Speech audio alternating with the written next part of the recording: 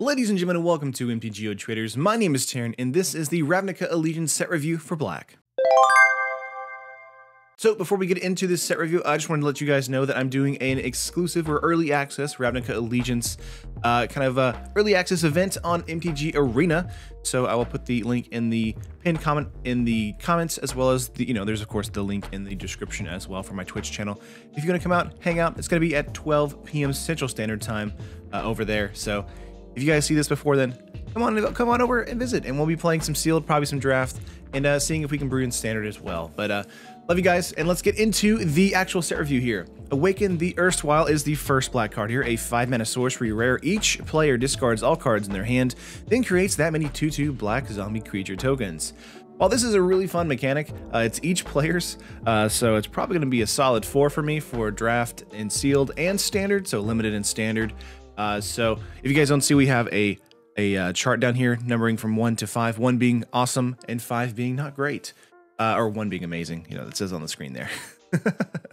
Either way, very fun card for commander. Um, not entirely sure what, what this is going to stick out at in a standard or draft or sealed. Obviously, if your opponent is top decking and you have a lot of cards in hand, this card is amazing, but most of the time that's not going to happen uh, to the point where this is a super playable card for you. Next to us, we have Bankrupt in Blood, a 2-mana sorcery uncommon. As an additional cost to cast this creature, or this spell, uh, sacrifice two creatures, draw three cards. I really like this card gonna give it a two in limited. And for draft eh, or for draft and sealed it's a two and for standard it's gonna be probably at a three here. The reason i'm liking it so highly is because we have afterlife in the orzhov format uh, and there's just a lot of die two triggers right now in the format for standard as well. Um, so going back up to two here for them. Uh, but for limited, I think this is really great, kind of setting off a lot of abilities for you for your Orzhov list uh, as well as your Rakdos list. Uh, drawing lots of card advantage for just two mana like this is super powerful. And it's one of those uh, few cards where it feels like it's almost a little undercosted, a little more powerful than you realize. Uh, so really like this card for that. And again, the art on these cards, uh, the Seb McKinnon art is just fantastic. Next up here for us, we have Blade Juggler. This is a 5 mana 3-2 human rogue with Spectacle for 3. Spectacle is the Rakdos uh, keyword here. You may cast a spell for its spectacle cost rather than its mana cost if an opponent lost life this turn. So they lost life this turn. This is three mana instead of five. That's really fun. Whenever it enters a battlefield, it deals one damage to you when you draw a card. So giving you some kind of mid to late game card advantage. It is pinging you for one, and uh, that's fine for me for the card advantage. I think it's a nice way to kind of uh, uh, balance this card out. For five mana, this card is not good, but for three mana, it's pretty decent. Uh, that's why the Juggler is going to be at the three slot for us for draft and for sealed. And for standard, I feel like this is probably too slow, so it's going to be at the five slot. Just not great. Just not really going to see that much play. Uh, but for, again, limited, I think this card is perfectly fine for that spectacle cost. Uh, but for the five mana 3-2 draw card, not amazing. If you had a little bit more toughness or a little bit more power, then I would think, think it'd be a little bit better. Uh, moving up here for us, we have Blade Brand, a two mana instant. Target creature gains death touch until end of turn draw a card. Um, I really love this card. It's just a straight up removal spell, basically. Uh, your opponent attacks out with something, you block, you kill it because it gives a death touch, and then you draw a card. That's nice. But like all of these like combat tricks here, the, some of them are really good in limited and some of them are really terrible in standard. Now this is a 5 for me, not that great in standard. It does draw you a card, so it is card advantage, and it does give something death touch, so that is really nice as well. But I just think it's just not that good uh, in that environment. We could see it maybe change a little bit in the future through brewing, um, but I do think that right now it's probably just not that great in standard, but super good in draft and in sealed. Next up for us, we have Blood Mist Infiltrator. This is a 3 mana 3 1 vampire. Whenever Blood Mist Infiltrator attacks, you may sacrifice another creature. If you do, Blood Mist Infiltrator can't be blocked uh, this turn. Um, so very interesting as this is a free sack outlet for us. So that is something to keep in mind. So this is going to be a 3 for us in draft and in sealed. Um, not really wild about this card in standard, probably just gonna be at the five slot for us in that particular format. Um, it's because it's whenever it attacks, not just whenever it just exists. Um, that would be great if it's just like, you know, sacrifice creature, this is unblockable this turn. That would be great. Uh, but because we have to attack out here, it kind of leaves it open to, uh, you know, die to certain things like seal away or Settle the Wreckage in uh, the standard environment. Next for us, we have Carrion Imp, a 4 mana 2-3 Imp flyer. Whenever it enters the battlefield, you may exile target creature card from a graveyard. If you do, you gain 2 lives. So I like the Imp here because it can be any graveyard, so even your, even your graveyard. That's pretty good, but it's still probably gonna be a four for me uh, for the environment for limited. It's a four mana, two, three flyer. That's fine. It gains you two life. That's fine, but it's just kind of okay overall. And uh, again, for uh, standard, Imp is going to be going solidly in the five position, not great in that format either, uh, but super fun overall. But again, Imp not really that great overall for me. Um, Catacomb Crocodile, love the name here. A 5 mana 3 7 crocodile. It's a vanilla, it's a crocodile. Um, that's fine. now, one of the things I will say is I'm going to put this to the 3 solely because we have things that have incredible toughness like crocodile here that can go really well with certain archetypes in limited. Now, for draft and sealed, this is great. It's to be a, a 3, uh, but for standard, it's to be a 5 really not going to see play in this card that much at all. Um, I do think the Crocodile is fun. Um, that 7 toughness makes it a huge wall, though, in most environments for you for limited. And it usually means your opponent's going to either have to, you know, kind of use a combat trick to get past this card or just have to remove it flat out. Us, we have Clear the Stage, a 5 mana instant. Target creature gets negative 3, negative 3 until end of turn. If you control a creature with power 4 or greater, you may return up to one target creature card from your graveyard to your hand. But this card is probably alright. A 5 mana instant is pretty decent for this kind of ability here. Uh, so Clear the Stage to me is going to be probably at a 3 drop slot. I think this is really fun uh, for limited. Now for standard, it's a little more kind of pricey for that area, so I'm going to go with a 5 here. Not too wild about that. I do think Clear the Stage, though, is one of those cards where it might just kill a creature on your opponent's side of the field, and then you get a creature back, which is really powerful in, in uh, drafted and sealed. So might be a one of for your Rakdos lists or for your Orzhov list, probably the Orzhov list. Next up here, we have Consigned to the Pit, a 6 mana sorcery. Destroy target creature consigned to the pit deals 2 damage to that creature's controller. So it's a removal spell, but a removal spell on top of a burn spell, uh, which can turn on all of your kind of spectacle costs as well. So for me, it's going to be a solid 3. It is very expensive, in the limited environment, so do keep that in mind. But besides that, I do think this card is quite good. As far as this card's implementation into standard, um, it really isn't one. It's going to be a solid 5 there. Not going to see play. Too expensive, uh, even if it does kill something and, you know, do 2 damage something. It's just too much to pay for that particular ability. Next, of course, we have Cry of the Carnarium. This is a 3 mana sorcery uncommon. All creatures get negative 2, negative 2 until end of turn. Exile all creature cards in all graveyards that were put there from the battlefield this turn. If a creature would die this turn, exile it instead. So very interesting. I really like this card a lot in uh, draft and in sealed. Going to be helping you a lot against the Orzhov list, against the the white flyers, the 1-1 flyers, the small creatures on the battlefield, that kind of stuff. So Cry the Carnarium is going to be probably at a solid three for us. Um, I do like it a lot for that particular format. It could probably be a two for you as well, depending on your archetype and how wide the format actually goes uh, once we get into the actual brewing of uh, Limited here. But just kind of an initial on look here. really like it. Probably a two or a three for us for a draft and for sealed. And for a standard, probably three again. Board wide stuff like this is kind of uncommon right now in the standard environment. And this is another one in black. We have Golden Demise, and uh, this is similar to that, uh, but Golden Demise doesn't exile creatures if they die. Cry of the Carnarium does, and that kind of makes the difference here for me. Next up here for us, we have Dead Revels. This is a four mana sorcery Spectacle cost for two. Return up to two target creature cards from the graveyard to your hand. Interesting ability. Uh, kind of slow, especially if you don't have the Spectacle cost kind of going off here. Um, so for me, it's probably a three slot for the uh, limited environment for draft and for sealed. For standard, this is a five. This is not going to be seeing play in standard. Just too expensive overall. Um, but for draft and for sealed, putting it at a three. Reason being, of course, is because a lot of uh, matchups in draft and sealed, your opponent will re remove a creature on your side of the field, and then they just don't have any, any, more removal for the rest of the game. If you get your creatures back, they really have nothing, no way to deal with them. And uh, Dead Revels is just one of those cards that kind of does that really well for us. Next, of course, we have Debtor's Transport. This is a six mana five three Afterlife for two. Afterlife is the Orzhov mechanic. When this creature dies, create two 1 1 white and black spirit creature tokens with flying. Very, very powerful. A 6 mana 5 3 that can, you know, trade with something really powerful and then become two uh, 1 1 flyers. Not bad at all. Um, also, the art is really kind of random looking, but it's going to be a 3 for me in limited. Um, pretty much solid card for us for limited good bomb gonna be able to again to trade with something hopefully and then give you two one one flyers i think that's perfectly fine for a standard, it's going to be a five here. Not going to see much play in that particular format. I do think that uh, it's just too expensive for that format, even though it looks awesome. And I wish more kind of awkward art like this made its way into standard. Next, of course, we have Drill Bit. This is a three mana sorcery, spectacle cost for one, kind of like a Thoughtseize here. Target player reveals their hand, you choose a non-land card from it, that player discards that card. And uh, interesting card here. I'm not entirely sure where this is going to see play at on standard. For me, for limited, I think this is probably a two drop slot. A one mana, basically Thoughtseize in the format is very powerful. So putting it at the two drop slot here for us. Uh, for standard, putting it at the three three drop slot, far as the like the point system here, I do think it might be higher, maybe a two.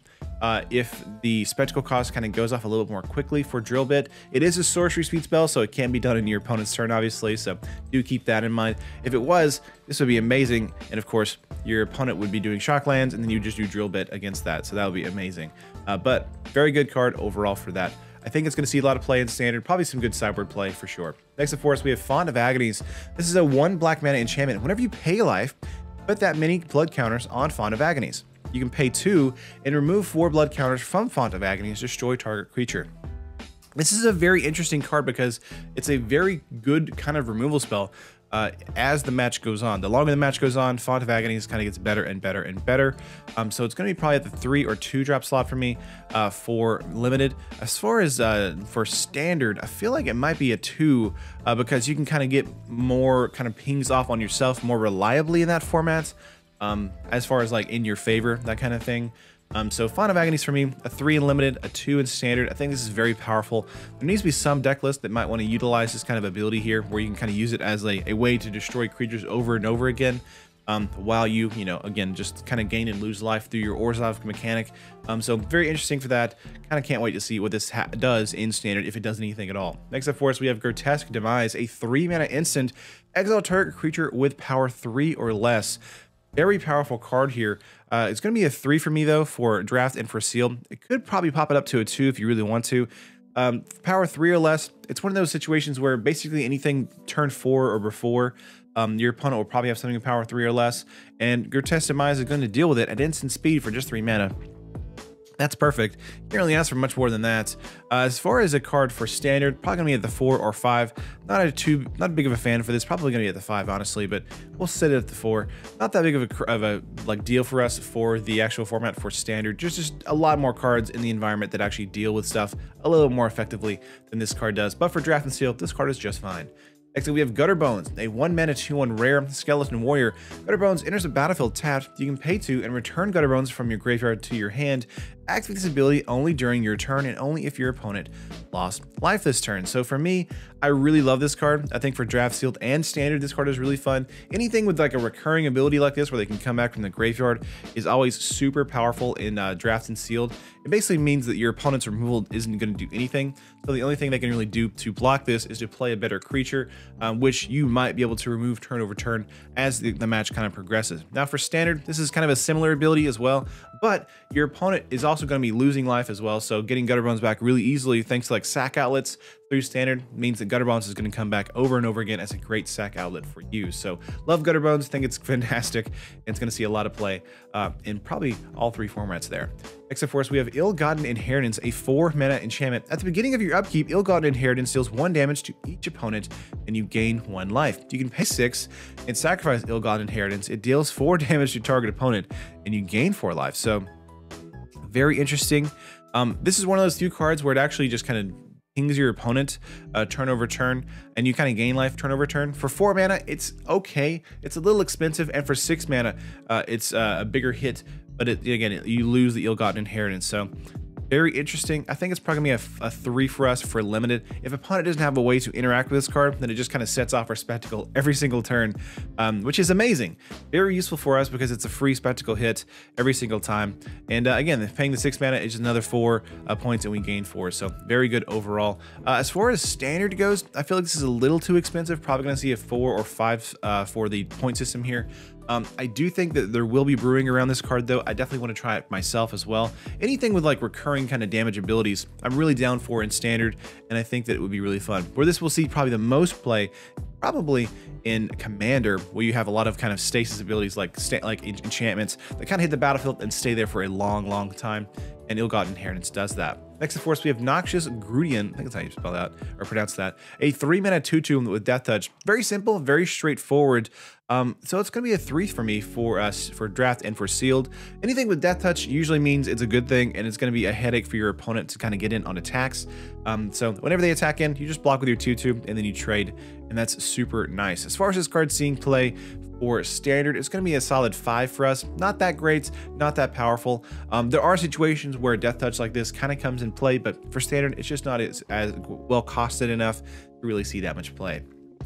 Next up, we have Orzhov Enforcer. This is a two minute 1 2 human rogue with Death Touch and Afterlife for one. So here's a Death Touch card that will see a lot of standard play as well as draft and sealed play. Orzhov Enforcer to me is going to be a solid two in that slot. Really powerful card for drafting for sealed. Again, it's a two mana 1 2, so it's going to trade with something because it has Death Touch, but it also gives you a 1 1 flyer as well. So you're trading up basically with this card. So similar to how the last card was a Death Touch with 2 2 for 3, this is one down. It's upshifted in rarity, you know, and it's one less power, but it still has Death Touch, and you get a creature after it dies. So very powerful for us.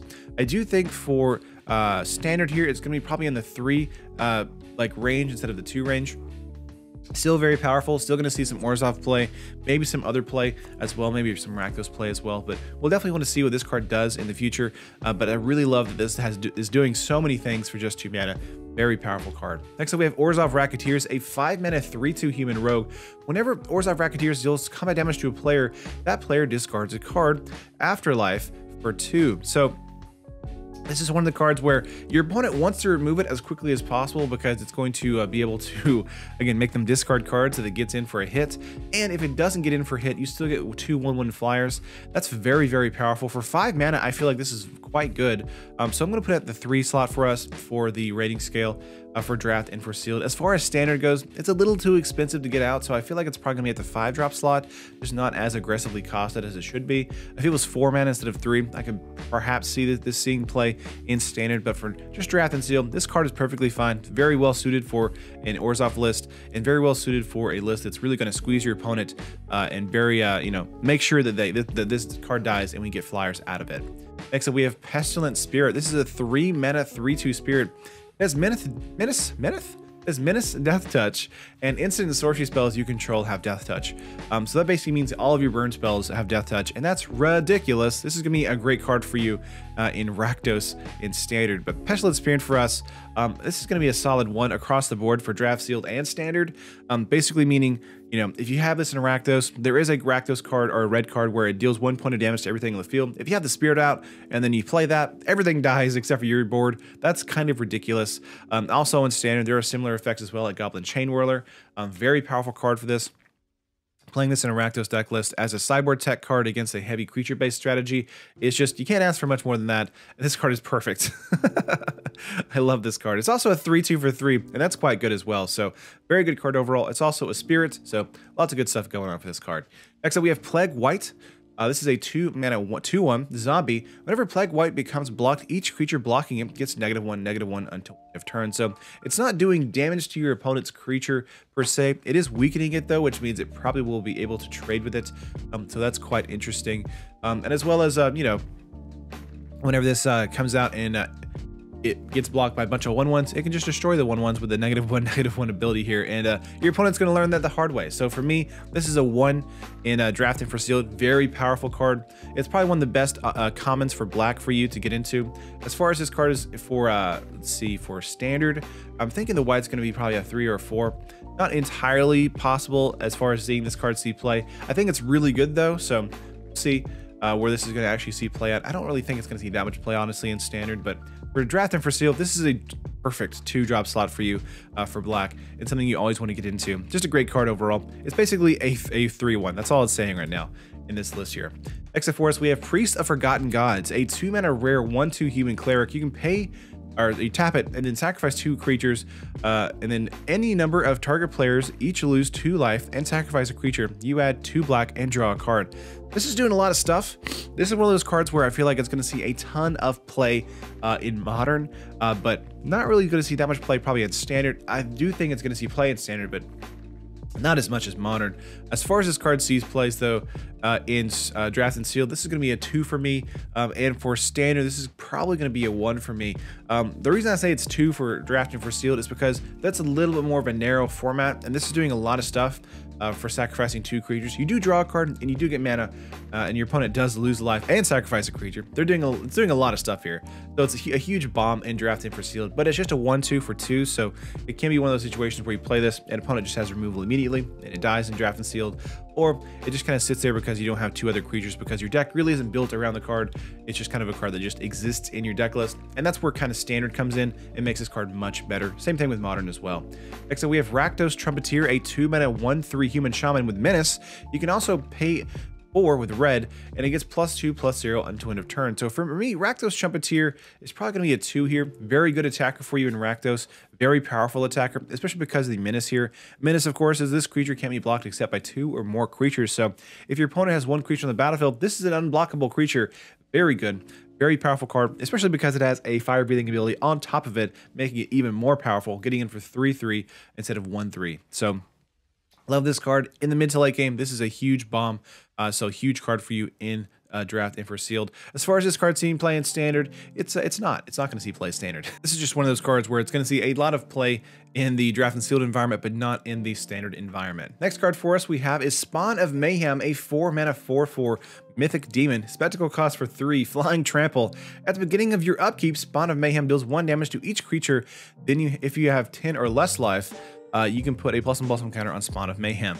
Um, this card is insane. Uh, Spawn of Mayhem for me is going to be probably a one or a two, probably a one here uh, for uh, the actual environment for drafting for sealed and for standard, honestly. Uh, for Rakdos, this is crazy powerful. This is your giant bomb. This is your premier bomb in black. Amazing card, even at costing it 4 4 or 4 mana for a 4 4 flyer trampler. Great card overall, and being able to ping your opponent every single turn to get that spectacle off again.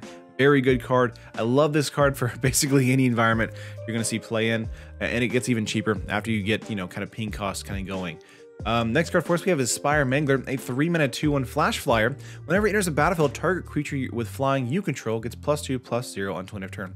That can mean itself as well, so very interesting play for us, but this is probably going to be a situation where you're going to have a 1-1 on the battlefield. This is going to turn that 1-1 into a 3-1, and it's going to be able to trump, chump block or trade or pump or something like that, because, of course, this is a flash creature, so it can come in on attacks or on blocks. Very good combat trick, very good pump ability. I really like the Spire Mangler here. I think for us, for drafting for sealed, it's at this two-drop slot. Very powerful for that particular uh, list. Now for standard, again, kind of the same thing. It's going to be a five, just like how it was for uh, the Rakdos Trumpeter. Just one of those situations where it's really powerful and limited, but not that great in standard. Next up for us we have is Thirsting Shade. This is a one mana, one one creature shade lifelink. You can pay three and it gets plus one, plus one into end of turn. Very good card overall for us. Probably gonna be at the three drop slot. Really good way to kind of gain life back as well as a way to just, you know, dump mana into a creature in the mid to late game, making this a 2, 2, or 3, 3, 4, 4, and so on if you have the mana to do so. But I do love how this is a lifelinker on top of it as well. We had Veld Shade, I believe, in the last set, so that was very good. Um, this is a little bit cheaper than that, but it has lifelink on top of it as well. The ability to kind of get the plus one plus one off is a little bit more expensive, but again, lifelink, so it's a nice trade-off. I really like this card. I think it's gonna be quite powerful, honestly, in uh, drafting for steel. As far as seeing play in standard, it's uh, it's not. It's not gonna see play in standard. It's too kind of overly costed, kind of weirdly costed. It is a lifelinker, that is nice, uh, and it is on turn one, which is nice as well. But I don't really think it's gonna see much play besides that. Um, it could see play maybe in an aggro list, but again, we'll have to see where that kind of goes. Next up for us here, we have Undercity Scavenger. This is a 4 mana 3 3 Ogre Warrior. Whenever it enters a battlefield, you may sacrifice another creature. If you do, put two plus one plus one counters on Undercity Scavenger, then Scry for 2. Uh, for me, this is a solid 3 for drafting for sealed. It's a 4 mana 3 3, which is fine, but a 4 mana 5 5 is fantastic. It lets you Scry for 2. That's very good. Uh, in an Orzhov list, this could be a top end bomb for you for just 4 mana. I really like it for that and for probably your Rakdos list, this could also kind of trade up against those small pinging creatures in the early game, giving you a 5-5 that lets you, again, scry for 2. So really love it for limited for that. Uh, for for uh, standard here, it's going to be at the 5 slot. Not that powerful, not that impactful to the board state, but still really, really fun. Next up for us, we have Undercity's Embrace, a 3 mana instant. Our opponent sacrifices a creature. If you control a creature with power 4 or greater, you gain 4 life. I really like how these are kind of doing separate things, and this is basically ferocious as far as the keyword goes. Um, target opponent sacrifices a creature. Very good there for 3 mana. Like that a lot. Basically, Plague Crafter. Um, and then if you control a creature with power 4 or greater, you gain 4 life. Again, very, very powerful as well. I think this might actually replace Plague Crafter in some environments uh, in draft or in standard for us. So this is a card you really want to kind of keep an eye on. As far as the card for uh, draft and sealed goes, this is a solid two. Um, I did put it at five for us for standard, but I think after kind of thinking about it a little bit longer, it's probably a four or a three for us uh, for that environment, as it can kind of just be a replacement for Plague Crafter at instant speed against things like Carnage Tyrant, which are really difficult to deal with in standard at the moment. And um, the last card for today is the Vindictive Vampire, a 4 mana 2 3 vampire. Whenever another creature you control dies, Vindictive Vampire deals 1 damage to each opponent and you gain 1 life. This is so expensive for this ability, but it's probably still going to be a 3 for the scale here for draft and for sealed, and probably going to be just unplayable for us for standard, just because of how expensive it is to cast for 4 mana. If it was a 3 mana, 2, 3, I think it'd be alright, but a 4 mana, 2, 3, just not that great. Not a little too, little too slow for the environment. Um, but for drafting for sealed, I think it's perfectly fine. To see a lot of play in that environment, especially in the Orzhov list and especially in the Rakdos list, most likely. Uh, kind of making sure you get off that spectacle, as well as uh, getting some passive life gain as well. But those are all of the black cards for Ravnica Allegiance. Let me know what you thought of them in the comments down below. Trying to get out the red review today as well, if I can, uh, but we'll see what happens. Uh, but of course, like if you like it, subscribe to the channel if you haven't already, and hit that bell icon to be notified when a new video on the channel goes live. I love you guys. Make sure to check out the stream for tonight, today at 12 uh, p.m. Yeah, 12 p.m. Central Standard Time on Twitch. Comments, or it's gonna be the pinned comment for my link. It's also in the description. Check me out. Love you guys, and I'll see you in the next video. Peace.